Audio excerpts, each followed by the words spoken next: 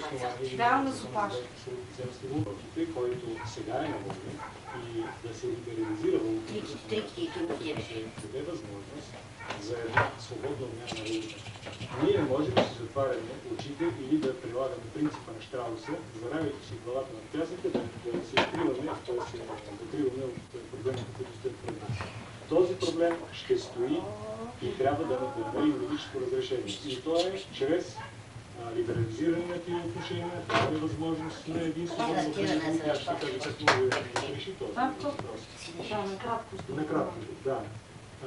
Всички лица, които се занимават с свободен обмен на валута пред а, нагурата, са за това да си плащат таксите на държавата, но да престанат да радят нещата.